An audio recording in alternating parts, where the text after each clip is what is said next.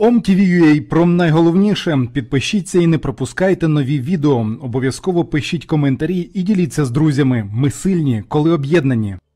НАТО розглядає можливість довгострокової військової присутності у східній Європі через нарощування Росією військ на кордоні з Україною, заявив генсек альянсу Янс Столтенберг. Ми розглядаємо довгострокові коригування наших позицій. Остаточне рішення з цього приводу ще не ухвалене, але зараз всередині НАТО триває процес його ухвалення. Цитує Столтенберга Рейтерс. Очікується, що міністри оборони країн НАТО обговорять зміцнення своїх позицій в східній Європі на зустрічі, яка запланована 16-17 лютого. Якщо Росія дійсно хоче, щоб НАТО було менше біля її кордонів, вона отримає протилежне, зазначив Столтенберг. Нагадаємо, що прес-секретар Пентагону Джон Кірбі офіційно повідомив, що Сполучені Штати перекинуть додаткові сили до Румунії, Польщі та Німеччини. З Німеччини до Румунії відправлять тисячу військових, а ще близько двох тисяч перемістять із США до Польщі та Німеччини.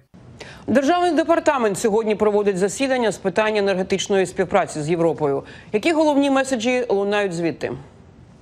Наталю, дійсно, ця зустріч сьогодні була це взагалі регулярна зустріч, але її не відбувалася вже 4 роки. І головний меседж, який ми почули сьогодні від Сполучених Штатів, про те, що якщо Росія піде на агресію, якщо Захід відповість санкціями, і Москва захоче помститися, відключивши е, так би мовити Європу від е, російських енергоресурсів, то Вашингтон готовий зробити все в їхніх силах для того, щоб запобігти будь-яким перебоям в поставках е, енергії до Європи і, зокрема, України від Жозепа Бореля ми сьогодні почули, що він вважає, що перехід Європи на відновлювальні джерела енергії це найкращий шлях, а позбавитися залежності від Росії. І він також сказав, що наразі головна мета це запобігти потенційній російській агресії проти України, і що Європейський союз не піде, не, не буде. Не матиме, що на Росії Європейський Союз не матиме жодного впливу, так би мовити, російський шантаж, і про те, що Європейський Союз разом із союзниками буде готовий дати відсіч Росії, якщо це знадобиться. Давайте послухаємо. Russia, you know, Росія, ви знаєте, не соромиться використовувати енергопостачання до Європи як зброю для своєї геополітичної вигоди посеред сплеску цін на енергоресурси по всьому світу. Ми продовжуємо закликати Росію піти на деескалацію. Ми продовжуємо докладати дипломатичні зусилля найбільше, аби переконати Росію обрати шлях діалогу, і це мусить продовжуватися. Водночас, ми всі разом маємо дати чітко зрозуміти за будь-яку подальшу агресію проти України будуть масштабні наслідки і жорстка ціна. Наталі, сьогодні у Блінкіна і Бореля багато разів питали про те, чи не перебільшує захід загрозу, яка надходить від Росії, чи не роздмухає паніку. На що Борель сказав, що 140 тисяч російських військових на українських кордонах не зібралися там просто щоб попити чаю, і що звісно, європейський союз і Сполучені Штати сподіваються на краще на силу дипломатії, однак готуються до найгіршого. А Блінкін своєю чергою сказав, що Вашингтон керується фактами та історичні паралелі проводить, і що Вашингтон також намагається зробити все, щоб розкрити плани Кремля, щоб не було запізно. Давайте послухаємо. This is not uh, alarmism. Це не алармізм, це прості факти, і ми маємо на них зважати в контексті історії, і щоб бути абсолютно готовими. Впродовж кількох минулих місяців ми бачимо накопичення російських військ на кордонах з Україною. Це не відбувається у вакуумі. Це відбувається у контексті того, що Росія зробила 2014-го. Ми також знаємо, що частиною російської методички є створювати вигадані провокації, аби виправдати дії, які Росія готувалася здійснити у будь-яку мить.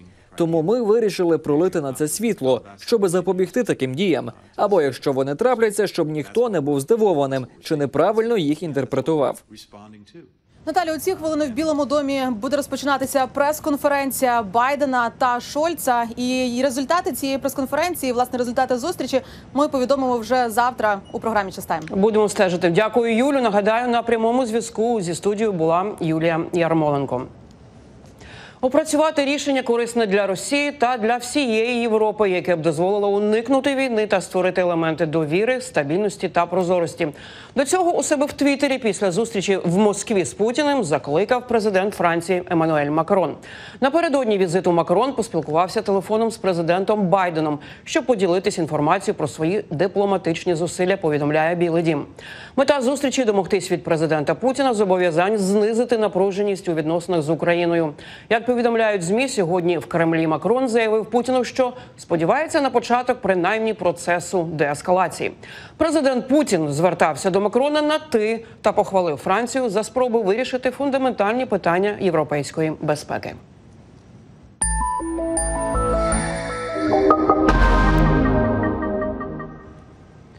Дипломатичні зусилля вирішити кризу на східному кордоні України тривають і на рівні Організації Об'єднаних Націй. Активна робота, зокрема, ведеться представництвом США при ООН. 17 лютого з ініціативи Росії, яка на початку місяця перебрала головування у Радбезі, відбудеться засідання ради, присвячене мінським угодам. Чого очікувати від цього форуму та яку позицію висловить американська делегація? Про це із заступником очільниці місії США в ООН Джефрі Прескотом спілкувалась моя колега Ірина Соломко. Сполучені Штати Америки чудово знають тактику та до чого може вдатися Російська Федерація, запевняє заступник посолки США при ООН Джефрі Прескот. І аби не допустити ситуацію весни 2014-го, США інформують світ про провокації, які плануються з боку Росії в контексті України.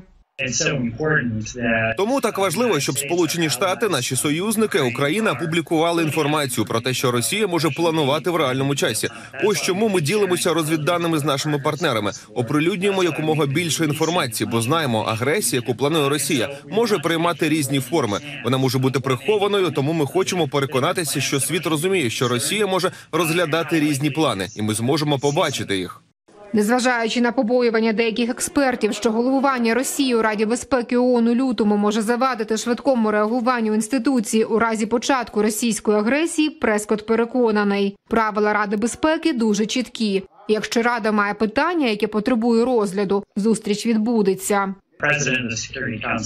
І президент Ради безпеки не має можливості зупинити це, тому у нас немає занепокоєння щодо цього. Проте мене хвилює, що ми побачимо спроби Росії уникнути питання, спробувати відвернути увагу, не визнавати факти. Ми повністю готові до додаткових розмов у раді. Отже, нам доведеться остерігатися російських хитрощів, дезінформації та спроб перенаправити чи відволікти. Але ми готові до цього. 17 лютого Росія скликає засідання Ради безпеки, присвячене виконанню мінських домовленостей.